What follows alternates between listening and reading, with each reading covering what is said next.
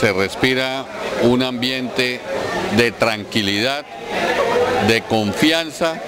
en una candidatura que va a llegar a cumplir con sus frutos como es la de Pepe Ruiz a la alcaldía de Villa del Rosario. Hoy por hoy vemos cómo el Partido Liberal está resurgiendo en todo el departamento, está resurgiendo en el país y vemos la emoción de la gente, la sinceridad con que la gente está llegando y el buen trabajo. De verdad que estamos bastante complacidos con este proceso. Hemos de agradecer al senador Juan Fernando Cristo, al representante Alejandro Carlos Chacón,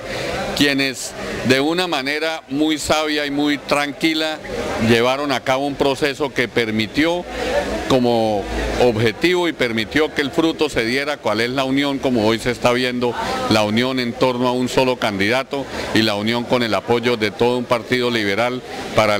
buscar el triunfo a la alcaldía de Villa del Rosario. Asimismo también lo estamos viendo como en el municipio de Los Patios tenemos un candidato con grandes posibilidades, con muy buenas posibilidades de llegar a la alcaldía como es Julio Galvis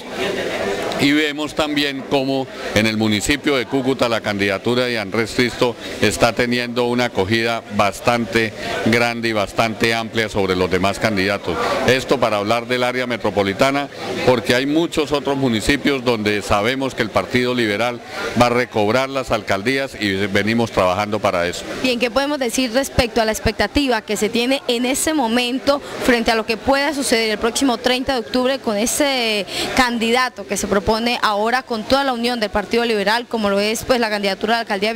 con el doctor Pepe Ruiz? Pues la expectativa es bastante buena. Yo creo que ustedes vieron ahorita, hicieron unas tomas de las imágenes de las diferentes candidaturas a los al Consejo de la Ciudad de Villa del Rosario. Vemos también la efusividad de la gente, cómo quiere participar de este proceso, cómo está comprometida a trabajar en el proceso y vemos que aquí lo que hay es que trabajar. También se dio a conocer una encuesta donde vemos cómo el Partido Liberal viene subiendo mientras el otro candidato viene bajando. O sea que esto hasta ahora comienza con un leve entusiasmo y un leve movimiento que se hizo por parte de las dos campañas que había y que, aspiraban a la,